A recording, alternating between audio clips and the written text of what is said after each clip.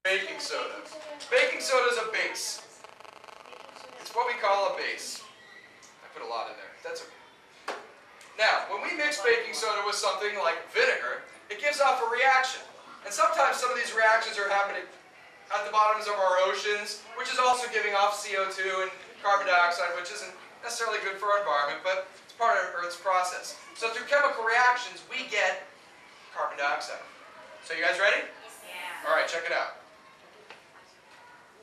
Just like that, all of those bubbles that you see are filled with that CO2 gas, that bad stuff. Don't anybody start yelling at me for contributing to the gas problem. But that's really what's going on. Now, you can't see it, but there's still some gas in there. So what I'm going to do is I'm going to light a candle here. Okay. And if I'm very careful, I can lift up this, make my fingers smell like vinegar, and slowly pour out you guys see that? The candle just went out. It looks like I was pouring like an invisible liquid on it. But I didn't pour any liquid on it at all. Just that CO2 gas came out and covered that candle and put it out. Very, very cool stuff. So with that chemical reaction, we get CO2. Now there's another one we can get CO2 with. You guys have probably seen this before. Diet Coke. Try some of this stuff at home and just make sure your parents are around when you give it a shot. Otherwise, you can ruin a kitchen like I did. Um, anyway, my wife was not happy with me. Let's see, what I'm going to do is to prevent too much of a accident from happening here, I'm going to pour this Diet Coke into this beaker. And those fizzies that you see, and whenever you drink Coke too fast or, or a soda too fast and you get that tickly feeling in your nose, that's carbon dioxide. That's that stuff that's contributing to the greenhouse effect. Check this out. And I'm not doing a very good job pouring this. I was trying to keep the bubbles out of this. So you know what I'm going to do? I'm going to put that to the side. We're going to make a mess. Here we go.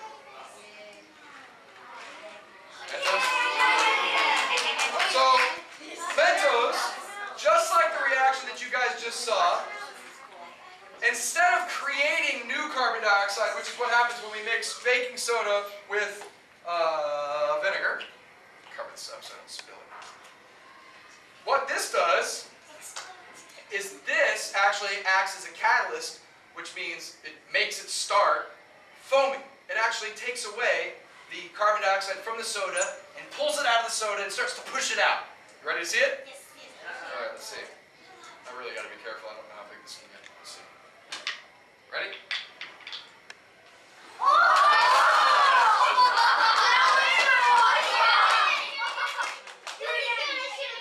Can I do it again? Let's see.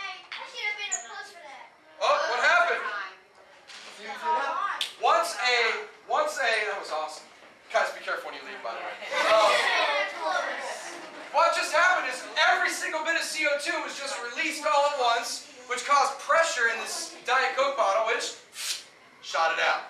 Um, by the way, why I'm using Diet Coke is uh, Diet Coke doesn't have sugar in it, so it doesn't get as sticky and doesn't cause ants. That's the only real difference. You can do it with regular Coke, but you have lots of little creepy crawlies around you. Um, and very sticky.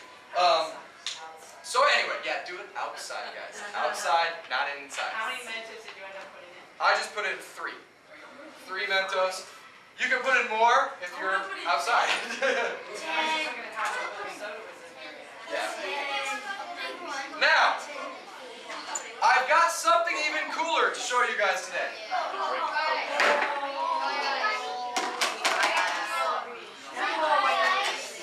All right, this, what you guys are seeing is dry ice.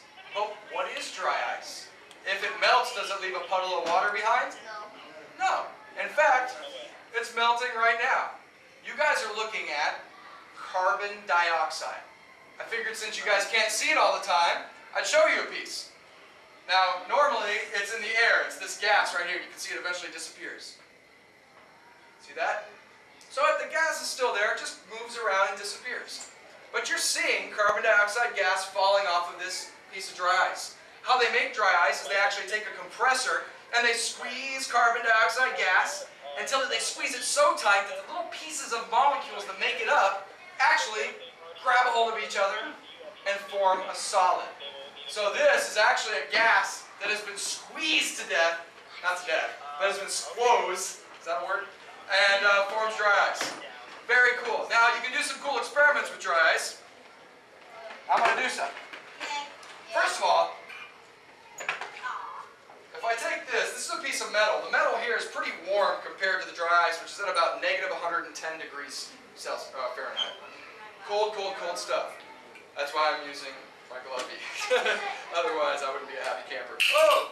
It can actually cause frostbite on your fingers if you hold it without a glove. Check this out. When I take this uh, piece of metal, this little clip here, and I push it up against the dry ice, Oh.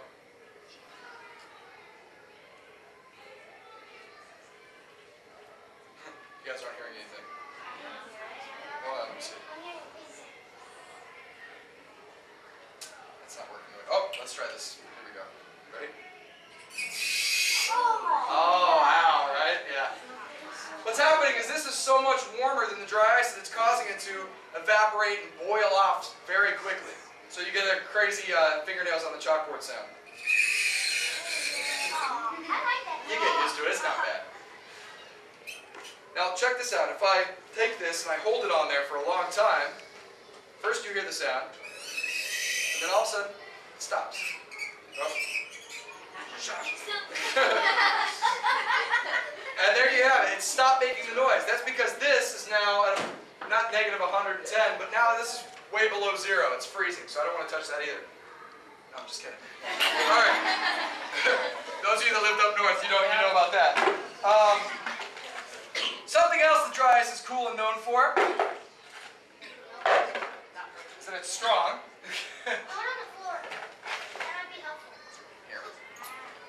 I don't want to hurt anybody.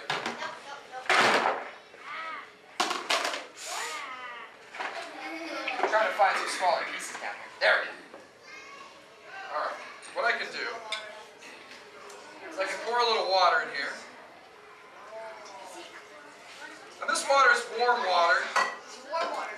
And what I do is I just put a little few pieces of dry ice in here.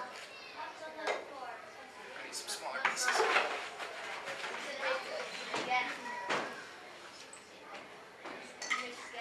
And it starts to boil off like crazy. And it's actually boiling. You guys see that? Yeah. Now it's not hot boiling, it's cold boiling. Ouch. Just touched my skin. Um, so anyway, you're seeing it boil off at an even more impressive rate. And if I hold my hand here, as you can see, it's creating pressure. You guys see that? See that? so it's creating pressure. Now, we can have some fun with that too. And by the way, parents, you guys can get this at um, Publix, in case you didn't know. You could buy dry ice there. I'm sorry, by the way, for your kids bothering you now. What we can do, if I can get some smaller pieces here, is I have these film canisters here. And I can take some dry ice and put it in this film canister. And I can add a little bit of water to it. And it starts boiling just like it did in there. Well, now I'm going to put a cap on it.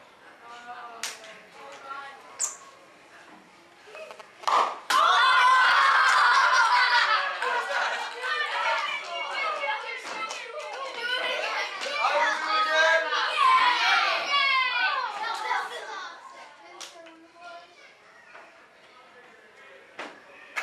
It always worries me when it doesn't happen right away.